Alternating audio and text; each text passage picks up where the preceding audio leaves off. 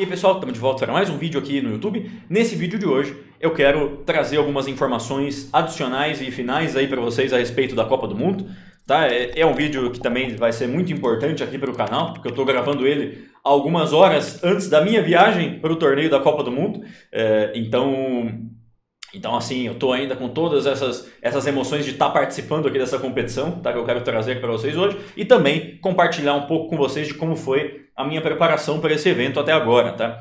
É, é, é, claro que tem muito trabalho ainda pela frente agora jogando as partidas, mas, mas realmente foram meses aí muito intensos, né, no que se refere à preparação para essa competição.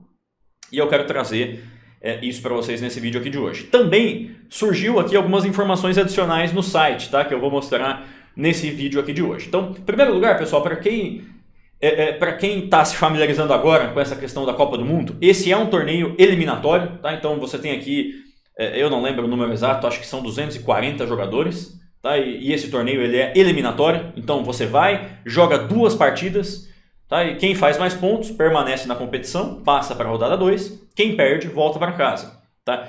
É importante destacar que quem perde na primeira rodada e já é eliminado de cara, mesmo assim recebe ali uma premiação. Tá? Então, os eliminados da primeira fase recebem ali já 3 mil dólares ou algo assim. E a premiação ela vai dobrando com o passar das rodadas. Tá? Então, quando você passa para a segunda fase, isso passa para 6 e depois, enfim, vai aumentando é, é, de maneira gradual, tá? Então, então esse torneio sempre teve esse formato, né? É, isso é uma coisa totalmente justa, porque para chegar até aqui já não é fácil, tá, pessoal? Para vocês terem ideia, essa é a minha primeira participação nesse evento. É, eu já tinha batido na trave aqui de participar dessa competição algumas vezes. É, é, e essa é a primeira vez que eu estou tendo essa oportunidade. Isso vale também para vários grandes mestres que estão participando aqui. Tá? Você pode encontrar jogadores aqui da mesma faixa de rating que às vezes nunca jogaram esse torneio. Né? Então, é um torneio realmente bastante difícil e é um torneio que todo grande mestre sonha em participar. Né? Mesmo os que já participaram muitas vezes, sempre descrevem uma, uma, uma coisa a mais aqui quando está jogando esse torneio. Né? É, então, então, eu realmente estou bastante contente né, em estar tá tendo essa oportunidade. É, como eu já cheguei a falar no vídeo passado, na primeira rodada eu vou enfrentar o grande mestre Fauzi, do Egito. Né? Esse é um jogador é, é, ele está exatamente aqui. Esse jogador ele tem 2,530, tá? ele é um pouco mais novo do que eu, se eu não me engano ele tem 23 anos. Eu confesso que eu não conhecia ele antes dessa competição, é, mas assim, vendo as partidas dele e tudo mais, me parece ser um, é, me parece ser um jogador consolidado ali nos 2,500, tá? então esses jogadores são sempre muito perigosos. Na verdade, ele subiu um pouco de rating nos últimos meses, ele estava oscilando ali entre 2,480 e 2,490 e ele teve um salto ali de 50 pontos nesses últimos meses, né? É, então, enfim, é um jogador que claramente é, trabalha ali no seu próprio xadrez é, e que joga muito bem. Então, vai ser um primeiro match muito, vai ser um primeiro match complicado, né? Difícil de prever o que vai acontecer. No papel, eu entro como favorito nesse match, mas realmente não dá para saber porque são duas partidas apenas, tá? E no espaço de duas partidas pode acontecer de tudo. É importante destacar que depois dessas duas partidas, se o resultado termina em 1 a 1, acontece um desempate nos, nos dias seguintes, tá? E no dia seguinte você já volta para jogar ali o tie-break. E aí são duas partidas de rápidas. Se permanecer empatado, são duas partidas de blitz. Né? E se eu não me engano, tem um tie-break na última, caso continue totalmente empatado, tá? Alguém me disse que o tie-break tinha sido eliminado. Né? Então talvez, então talvez, enfim, esse torneio termine até antes, né? ali no Blitz, talvez exista alguma forma de desempatar. Mas o fato é que o tie-break existe é, é, e que existem essas partidas aí de rápidas e de Blitz, tá? caso o match permaneça empatado. A maioria dos matches, tá? pelo que eu acompanho dessa competição, a maioria dos matches é, termina chegando no desempate. Tá? Então a gente vê isso acontecendo desde as primeiras rodadas. Eu lembro, por exemplo, que o, o campeão da Copa do Mundo é, retrasada, que se eu não me engano foi a Copa do Mundo que o Cariaquim ganhou. Agora eu não sei se foi retrasada ou se faz mais tempo, mas eu lembro que foi bem marcante pelo fato de que ele empatou todos os matches é, e todos ele ganhou no tie-break, incluindo o último. Então, assim, desde a rodada 1, então ele foi rodada 1, 2, 3, 4, até o finzinho, empatando com todo mundo nos ritmos clássicos e ganhando o tie-break depois, né? Muita gente, inclusive, começava a achar que era uma estratégia ali dele e tudo, mas assim, vendo as partidas, o que estava acontecendo é que simplesmente não estava, de fato, acontecendo nada nas partidas clássicas, né? É, então ele não estava tendo escolha a não ser empatar as duas. É, é, enfim, como ele era um excelente, aliás, ainda é, né? Faz tempo que eu não vejo ele jogando, mas com certeza ainda é um grande jogador de blitz, de rápidas. Ele conseguiu vencer a competição assim, né? Então, então assim, as chances de chegar até o desempate são sempre muito altas, mas, de novo, nunca se sabe, né, pessoal? É um espaço muito curto aqui de partidas para prever alguma coisa. Do que se refere à minha uh, preparação, pessoal, eu realmente tentei corrigir. Eu não quero entrar em tantos detalhes, né, para não correr o risco do meu adversário de alguma forma ver esse vídeo, mas é, eu me concentrei bastante em eliminar certos defeitos que eu via no meu repertório de aberturas, tanto de brancas quanto de pretas. É, então, então, assim, haviam certas aberturas que eu sentia é, é, que eu precisava fazer algumas, algumas correções, tá? então isso foi feito.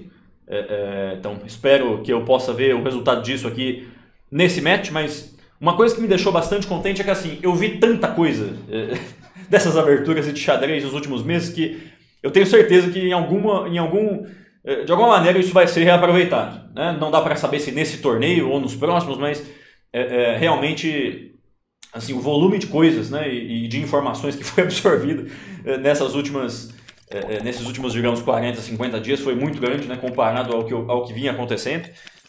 Eu estudei xadrez ao longo de todo o ano, né, de maneira consistente, mas realmente de um mês e meio para cá houve uma injeção grande aí de, de ânimo né, por conta desse, desse torneio, que termina ajudando de maneira de maneira universal no, no, no xadrez da pessoa. Né? Então, é, é, então, enfim. Mas o que eu quero mesmo é que isso se reflita aqui nesse match, obviamente, né? mas nunca se sabe. Então, o trabalho no que se refere às aberturas foi bastante intenso. Eu também foquei em resolver exercícios, né? Para isso eu utilizei bastante o site ali do Chess Tempo, né? Que é um site que eu gosto bastante. Eu utilizei livros de exercícios também e outros métodos ali que é, é, que a gente pode conversar um pouco mais em um outro momento, né? Porque exigiria a gente passar um pouco mais de tempo para abordar. É, e aí o vídeo terminaria ficando um pouco comprido demais, mas o foco foi bastante esse, né? Em, em trabalhar a parte de cálculo e das aberturas, é, porque são as coisas que, enfim, mais são exigidas aqui nos torneios, né? Ou seja, ao longo do ano a gente estuda de tudo um pouco, mas quando está muito perto assim de uma competição, é, você sabe que tem certas coisas que vão ser cobradas com certeza, né? E a abertura é uma delas, né? E a sua parte de cálculo ali também, né? É, agora, então assim, a minha preparação para essa competição girou muito em torno dessas duas coisas e de coisas de ordem mais é, é psicológica e mental mesmo, né? Então, então estou realmente bastante entusiasmado aqui com esse match, tanto porque é, é, passar dessa primeira fase seria uma coisa muito legal, quanto também pelo fato de que se eu passar, eu vou enfrentar um jogador lendário aqui na sequência, que é o Wei Tá? Não sei se vocês estão vendo aqui, deixa eu ver se está pegando. Ah, tá pegando aqui o nome do Wei, né? Então assim, pessoal, esse jogador é um jogador absolutamente lendário de xadrez, né? Eu não sei se vocês são familiarizados com... Se todos vocês são familiarizados com o nome dele, mas o Wei, é, é, até pouquíssimo tempo atrás, ele era cotado como o próximo campeão do mundo, é, porque quando ele tinha 15 ou 16 anos, ele rompeu a barreira dos 2.700, né? Mesmo é, comparando, na época, a idade que o Carlsen rompeu os 2.700 com ele, ele tinha rompido os 2.700 antes, né? E na época ele era o único grande talento assim no mundo, né? Para vocês terem ideia, eu lembro de ter visto uma entrevista do Jim Liren, né? Que é compatriota aqui dele, dizendo que era uma questão de tempo até o EI passar ele no rate, né? Isso não aconteceu até hoje. Essa entrevista tem quase 10 anos, né? Então, então assim, de um lado tinha toda essa expectativa nele, mas eu sinto que isso acabou prejudicando um pouco aqui o desenvolvimento dele. Né? Ele ainda é um jogador extremamente forte, né? imaginem vocês que ele tem quase 2,730, então é realmente um jogador muito forte, mas existia a expectativa de que nessa altura do campeonato ele já seria campeão do mundo, né? coisa que, não, que terminou não acontecendo, pelo menos não até agora. Né? É, mas assim, vai ser uma coisa muito legal, seria né? uma coisa muito legal enfrentar um jogador é, é como ele, é, não só no, no, sentido de experiência, mas eu realmente gostaria de tentar ganhar um match como esse. É, mas enfim, primeiro eu vou precisar passar do nosso, não vou dizer amigo, do nosso conhecido Fauzi, é, que não vai ser fácil, tá pessoal? Já adianto isso para vocês. É, mas enfim, essa é a situação, tá? E, e, o legal é que surgiu esse site aqui agora com as tabelinhas, né? Então mostra exatamente com quem você joga se você passar. Então, por exemplo, aqui em cima de mim, a gente já nota o nosso né, um conhecido aqui de nós brasileiros, que é o grande mestre Henrique Cristóbal, que tem a mesma idade que eu e tem uma faixa de rating parecida. Acho que ele tem um pouquinho mais de rating agora. mas geralmente a gente está muito perto aqui no, é, é, no rating e também tem a mesma idade. Se ele passar da primeira rodada, ele joga com, aqui com, com o Ivan Chuk, né, que é também um outro confronto super interessante, né, e que todo mundo, é, enfim, quando o jogador está tá perto de jogar um match com o Ivan Chuk, é, é um ânimo a mais aí para tentar vencer o próprio match, né, porque o Ivan Chuk é um jogador lendário. E nas outras chaves, vamos tentar localizar os outros brasileiros aqui, pessoal. É, vocês notem aqui o Carlsen, é, enfim, o, o, esse jogador aqui, o Panto Salaiar, se ele passar, ele joga com o Carlsen. E assim por diante. Cadê os outros brasileiros?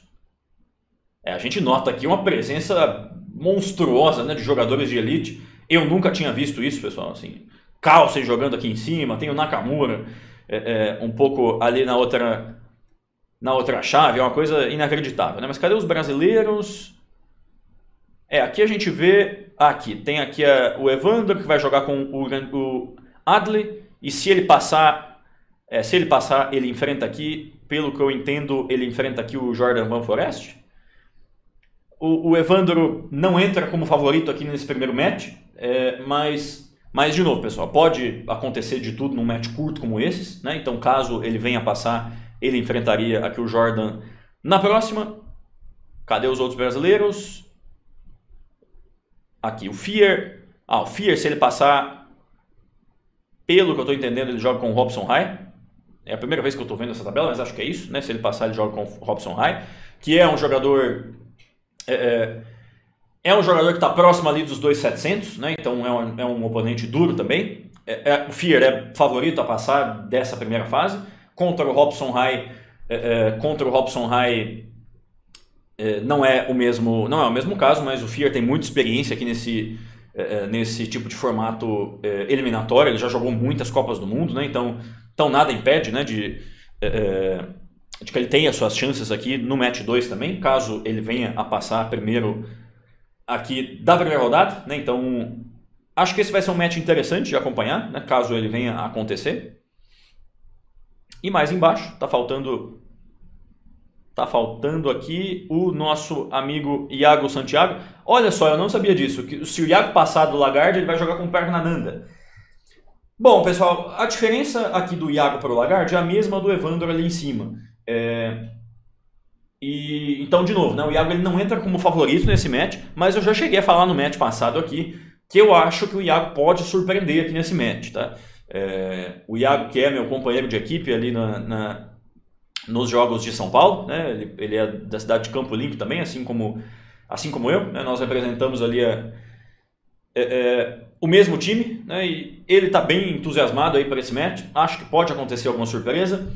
E aqui contra o Pragnananda é um emparceramento potencialmente mais complicado, ou seja, qualquer um dos dois que passar aqui vão ter problemas importantes aqui contra o Pragnananda, porque realmente o Pagnananda está numa forma inacreditável, né? Assim, o último torneio que eu vi ele jogando, é, é, enfim, parece que nesse momento o rating dele está bem abaixo da força atual, né? E o rating dele nesse momento já é 2,710 ou algo assim, né? Então, é, a expectativa aí de, de, de, quase todo mundo é que o Pagnananda vai, é, vai ter uma nova explosão de rating aí muito em breve. Então, assim, esse é um emparceramento mais complicado, mas uma oportunidade muito interessante aqui é, é, para ambos os jogadores, tá? Seja lá quem passar aqui desse emparceramento, claro que a gente fica na torcida que seja o Iago, é, é qualquer um deles vai ter uma experiência muito interessante aqui contra o Pragnananda depois, né?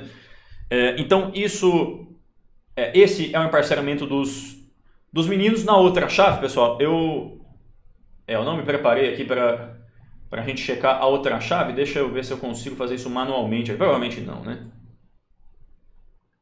Tá, porque esse, esse é o emparceramento das... Ah, peraí, vamos clicar. Ah, pronto, achamos.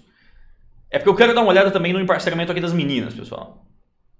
Porque nós temos duas representantes aqui, a Katia e a Julinha, né? Então, a Katia, ela vai jogar com essa jogadora, que eu, eu confesso que eu não conheço essa jogadora, tá, pessoal? Não sei qual é a faixa de rating dela, mas eu suponho que seja algo próximo dos 2,400, tá? Pelo que eu acompanhei ali do, uh, dos demais emparceramentos que estavam em torno desse, eu imagino que essa jogadora tenha uh, um rating próximo dos 2,400 e se ela passar, ela enfrenta a Oxelina, uh, que é uma jogadora de elite ali entre as, entre as mulheres, então esse vai ser um emparceramento é que não vai ser, enfim, não vai ser um parcelamento fácil, naturalmente.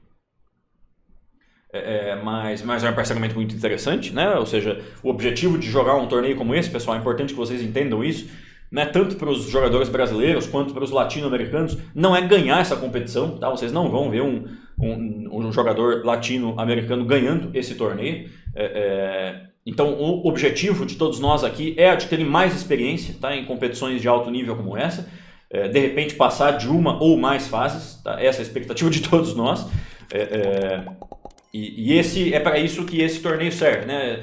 Esse torneio, ele, ele geralmente é, o título mesmo termina ficando ali entre os jogadores da parte de cima da tabela. Né? O Carlsen está jogando, o Nakamura está jogando, então se deduz que o título deve ficar entre esses jogadores mais conhecidos. É, é, e, enfim, os jogadores latino-americanos, geralmente, tá, pelo que eu acompanho desse torneio, geralmente o objetivo é esse, tá? É você tentar chegar na rodada 2 ou 3 é, é, e brigar, tá? E lutar ao máximo que você puder. Esse é o meu objetivo também. Mas não tem ninguém aqui pensando em termos de ganhar a competição ou algo assim, tá? Porque isso está totalmente fora aqui da, é, da realidade. Eu acho que nós temos, entre os jogadores brasileiros, nós temos jogadores com chances de, é, é de avançar uma ou mais fases. É, é, mas é muito difícil de prever, tá, pessoal? E, e, não vai passar tanto disso, tá? Essa é a minha, digamos, previsão.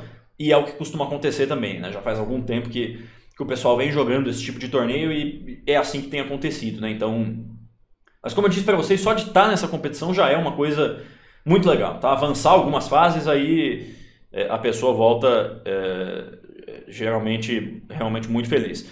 Bom, e também nós temos aqui, para fechar, a Julinha jogando com a Daisy Core. Aí se ela passar, ela enfrenta essa jogadora aqui da Geórgia. Esse é um match onde a Julinha... Existe uma diferença aqui de 100 ou 150 pontos de rating é, é, entre, entre as duas. A Júlia tem as chances dela. Tá? Eu acho que a Júlia pode muito bem surpreender aqui nesse match. Tá? Acho que isso realmente pode acontecer aqui. Tá? Então não ficaria surpreso. É, é, e se ela passar, ela enfrenta aqui essa jogadora da Geórgia. Tá? Mas como eu disse para vocês, nesse torneio tudo é possível, tá? E, e só de estar tá aqui é, é, participando já é uma coisa muito legal. Mas estou com expectativas grandes aqui nesse match da Julinha também, tá? É, então, então fiquem, fiquem de olho nesse, nesse match aqui, porque coisas, surpresas boas podem acontecer. E entre os brasileiros, acho que é, são só esses mesmo, pessoal. E aí tem outros matches ali em cima que não envolvem brasileiros, né? A gente não vai passar tanto tempo falando sobre isso. É, mas tem alguns nomes bem conhecidos aqui, como por exemplo é, é, como por exemplo a Ju Wenjun, né, que acabou de jogar o Campeonato Mundial Feminino. É, então ela veio direto para essa competição aqui, tá? Só que não vai ser fácil para ela ganhar esse torneio. Né? Tem várias jogadoras bem perigosas aqui. Né? Quero destacar em especial o nome aqui da, da Vaishali, né? que é a jogadora que estava participando ali do torneio do Tata Steel no início do ano. É, essa é uma jogadora que tem subido bastante aí o rating dela e também uma jogadora que estava também no Tata Steel, né, e foi convidada para participar dessa competição. Cadê ela? É, eu não sei se eu vou encontrar o nome dela aqui.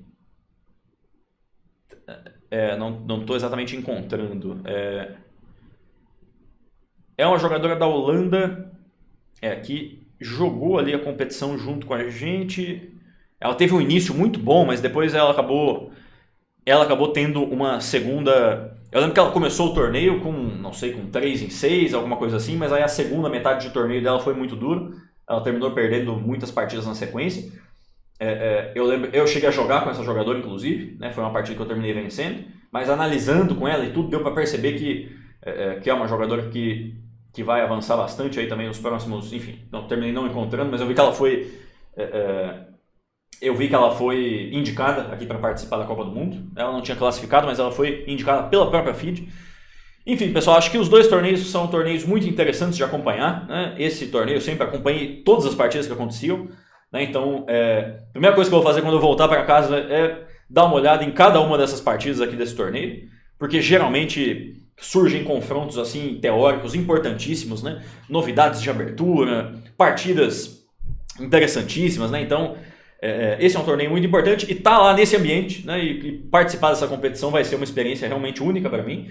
É, então, assim, junto com o Tata Steel que aconteceu esse ano, esse com certeza está sendo o meu segundo é, torneio mais importante, né, que eu sempre quis competir. Eu queria, pessoal, mais uma vez, e esse é um agradecimento que eu estou fazendo, não é, realmente porque é, uma vontade minha deixar esse agradecimento aqui para a Inclusiva, tá? que é a minha patrocinadora oficial, tá? Eles são os meus patrocinadores desde ali do meio do ano passado, tá? E de lá para cá, essa parceria só trouxe, assim, é, coisas incríveis para mim, tá? Foi depois de lá que, inclusive, foi um pouquinho depois de lá que eu fui convidado para jogar o Tata Steel, que eu participei de vários outros torneios, e agora esse também. Em todas essas competições, é, é, eu tive o apoio da Inclusiva, tá? Então, realmente, eu tenho tido apoio não só no sentido de, de viabilizar aqui as viagens, mas apoio também de às vezes, quando as coisas não estão dando certo, eu recebo mensagens do pessoal falando força, vamos, faz parte e tal. E quando tudo está dando certo também, o pessoal torce e, e enfim, manda coisas positivas.